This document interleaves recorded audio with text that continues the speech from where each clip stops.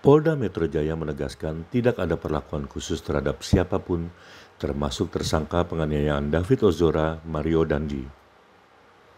Pemakaian kabel tis sendiri oleh tersangka Mario Dandi berada di bawah pengawasan polisi, sebab tersangka Mario Dandi sedang menunggu proses administrasi sebelum ia diserahkan polisi ke Kejari, Jakarta Selatan.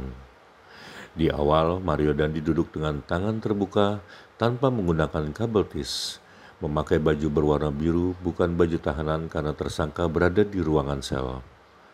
Namun, ketika keluar tahanan untuk dibawa ke Kejari Jakarta Selatan, Mario sudah menggunakan baju tahanan dengan tangan terikat kabel tis. Sebelumnya beredar video yang merekam saat tersangka Mario Dandi sedang menunggu proses administrasi sebelum diserahkan ke Kejari Jakarta Selatan. Awalnya Mario Dandi duduk dengan tangan terbuka tanpa menggunakan ikatan tangan dari talitis. Tak lama terlihat Mario Dandi mengambil talitis di meja dan memasangkan sendiri pada tangannya tanpa dibantu polisi.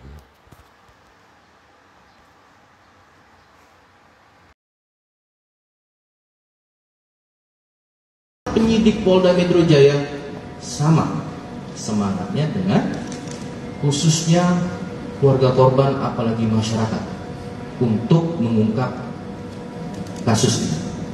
Baik, kita mulai. Ini sebelum MDS menggunakan borgol kebeltis.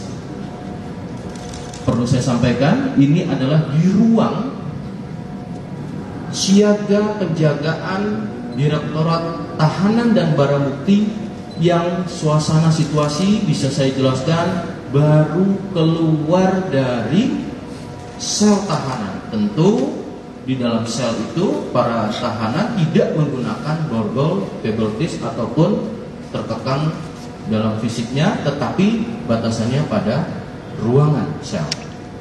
Ya, silakan kita buka. Ini rekan-rekan baru ketika keluar, ya Lanjut. Dia sudah melihat kamera. Tetapi tidak dengan serta-merta sesuai dengan frame satunya nanti berikutnya menggunakan artinya dia tidak karena tertangkap kamera kemudian menggunakan ya lanjut Pada posisi ini yang beredar durasi ini ya. Silakan. Cukup? Lanjut?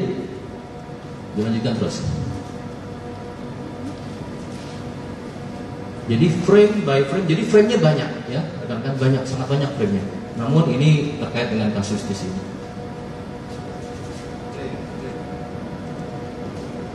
Di play silakan.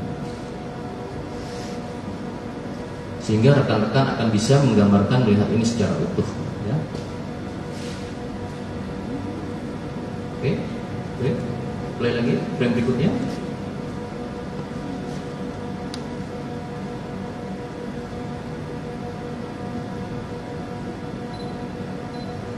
Ini pada konteks situasi yang dipertanyakan oleh rekan-rekan masih di dalam ruangan. Nanti kita lihat oke okay, sudah menggunakan teroris lanjut. Ini sudah dengan penyidik ya, penyidik artinya di bawah pengawasan direktorat kaki dan penyidik masih di dalam ruang siaga